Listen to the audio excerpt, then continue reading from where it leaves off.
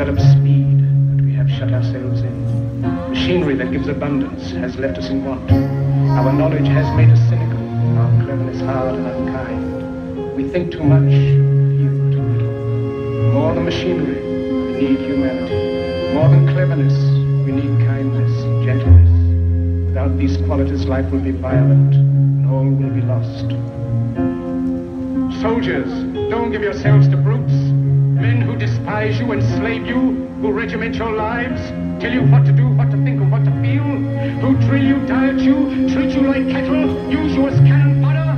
Don't give yourselves to these unnatural men, machine men with machine minds and machine hearts.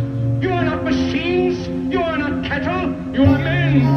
In the 17th chapter of St. Luke it is written, the kingdom of God is within man, not one man nor a group of men, but in all men, in you, you the people